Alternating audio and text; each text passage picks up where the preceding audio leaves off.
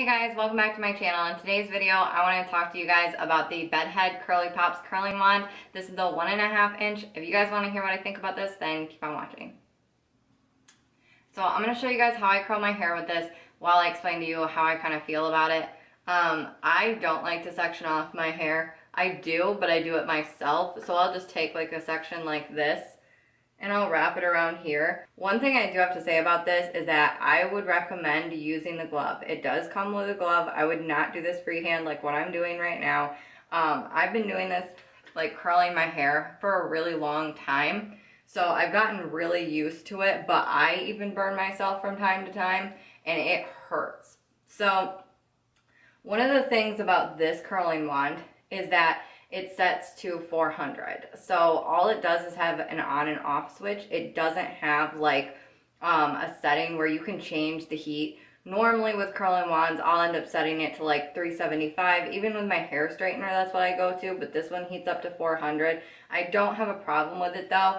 I just like section off my hair like I'm doing now and I hold it there for about 10 seconds and then move on to the next piece. It does have this little thing that juts out right here. If you guys can see it, I don't know. Um, so that you can set it down and it'll hold it up off of the table. The thing with that is do not touch it. Once you've heated your curling wand, just leave that thing sticking out. It does get hot, so you don't want to burn yourself. But anyways, like I said, this thing does come with a glove, and I would highly recommend using it because I have burnt myself on this one before. It hurts so bad. But yeah, I just do sections like this. I'll do like the top layer and then I'll go down underneath and then do that layer. So I really do love the curls that this gives me. It's really like loose, subtle curls. Like it looks like that natural beachy wave and I've really been wanting a curling wand that does that. Since this one is so big, it does give me that. These kind of calm down after a few minutes so they don't look like as curly. So before I purchased this, I did notice that it didn't really have the greatest reviews. I love the curls that it gives me. I don't think that it needed such bad reviews, but I don't think that this is going to work for everybody. It is a one and a half inch wand. That's a really big wand. So if you have like really short hair, I just don't think this would work for you. But for me, it does work really well. I don't think I would have used this when I had really short hair, but because my hair has gotten so long, my hair just looks better with the like long, you know, more subtle curls. I don't like curling my hair in the really tight spirals. So this is how I section it off. I just find all the parts that I have curled and I pull it to the side.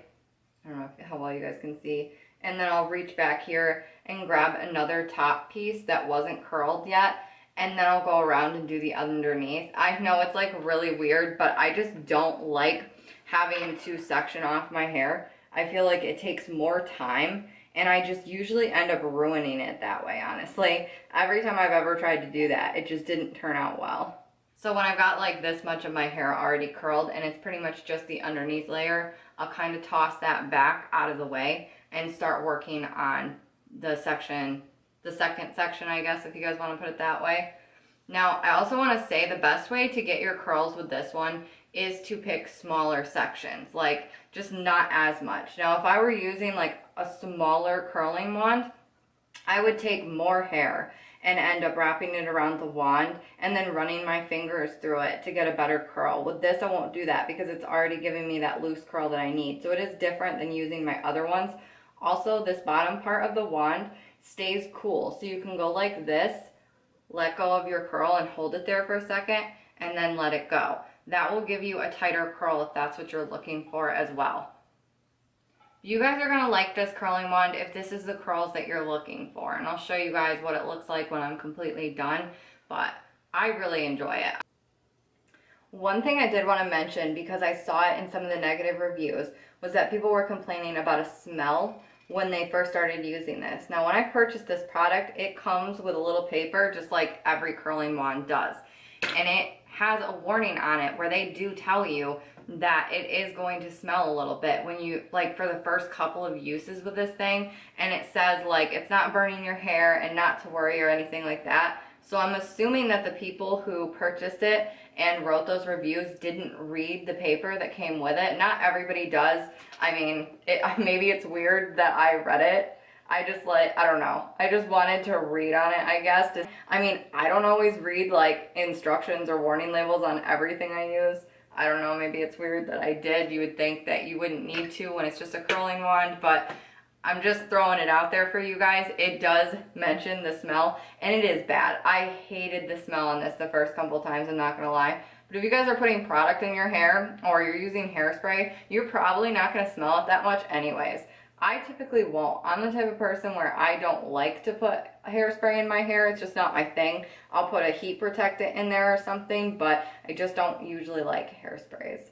A lot of people were saying that the curl doesn't last as long. I'm assuming if you use hairspray, it's gonna last you longer. Like, I mean, if you think about it, when I use a different curling wand that's a lot smaller and I'll curl my hair, it'll give me that like loose, natural curls throughout the day because my curls are kind of wearing off anyway. So it's kind of the same thing with this as it is with any other curling wand. If you're not using hairspray, it's gonna start to, you know, your curls are gonna start to fade naturally throughout the day. It's just going to happen.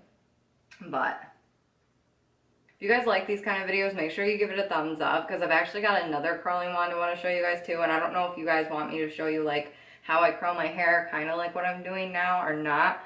But, I mean, because I pretty much just do the same thing all over, but I don't know. I got another curling wand and it's like a little bit smaller than this one. So this is how my hair turned out. I really love the long, natural, wavy curls that this curling wand gives me. I really hope you guys enjoyed this video. If you did, make sure to subscribe before you leave, and I'll see you guys in my next video. Bye, guys.